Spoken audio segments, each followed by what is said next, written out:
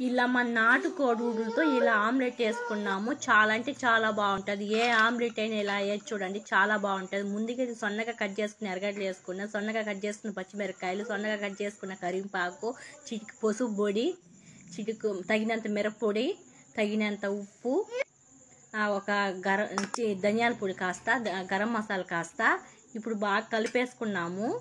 బాగా కలిపేసి ఇప్పుడు మనం ఐదు నిమిషాలు అలాగే వదిలేద్దాం. బాగా ఊరింది ఇప్పుడు. పూరి బాగా మసాలా పట్టేసింది కదా.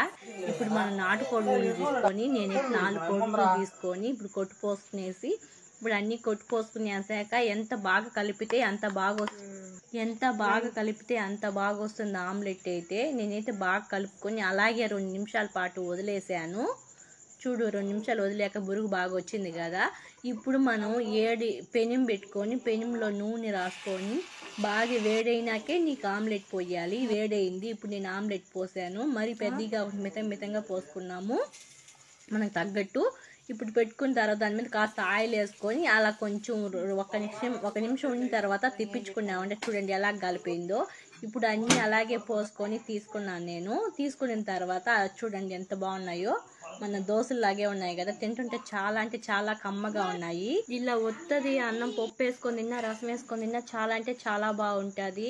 మీకు నచ్చిందని మీకు నచ్చితే ఒక